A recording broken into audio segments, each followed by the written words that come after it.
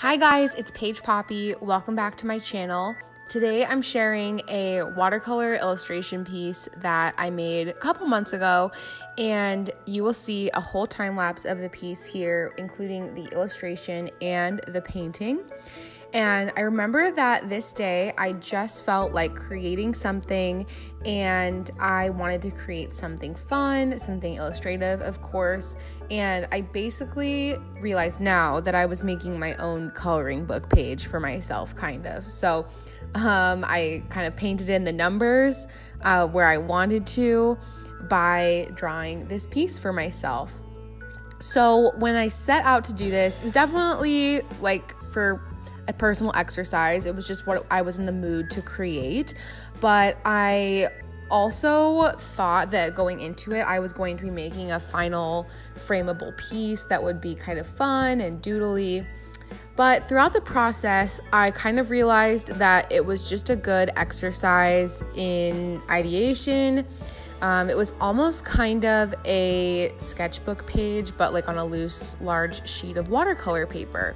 So it ended up just being a way to get a bunch of ideas out on paper, which I always think is more productive than keeping them in your head.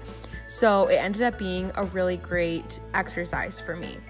Once I was done with this piece, I liked a lot of the individual elements. I just don't don't think I ended up loving what it looked like as a whole, and that's totally fine. If I treat it like a sketchbook mentally, and sometimes when you're making art, you just kind of have to change your thought process behind the piece partway through. And I think that's totally cool. Overall, the whole piece as a whole didn't love it, but I liked a lot of the elements. And I ended up taking some of these elements, um, digitally separating them out, and making other art prints from them.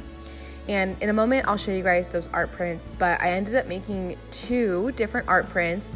One was um, with this eye and leaf motif that you see on the right, and then the other was this rainbow pencil on the left. And I ordered prints of both and added um, one of them to my spring collection. So the eye with the leaf, I ended up loving. I ended up loving the colors I chose and the warm tones and just the whole vibe and the composition of the piece. And I released it as a piece. You'll see it here on the screen in my spring collection and I named it Sun Reyes. I actually reached out to my audience on Instagram and asked you guys to help me name the piece, and then I did a giveaway to whoever's name I picked.